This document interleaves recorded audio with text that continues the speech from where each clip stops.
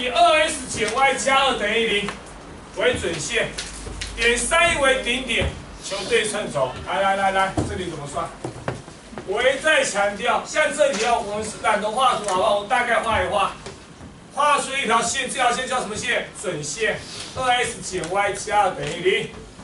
找到一个点点，这个点叫什么点？顶点，对吧？顶点做到事情三一，以它为顶点，这样行不行？麻烦你问对称轴，什么叫对称轴？还记得吗？对称轴会经过交点，经过顶点，垂直准线。所以说，经过交点，经过顶点，垂直准线，可见对称轴是这样画过去。所以说，对称轴画过去之后，告诉我什么现象？这对称轴和这条准线会怎样？垂直，可以吗？它，是二 s 减 y，所以说告诉我对称轴可以怎么写？垂直把这样？把斜率颠倒，一二 s 一 y 颠倒成多少？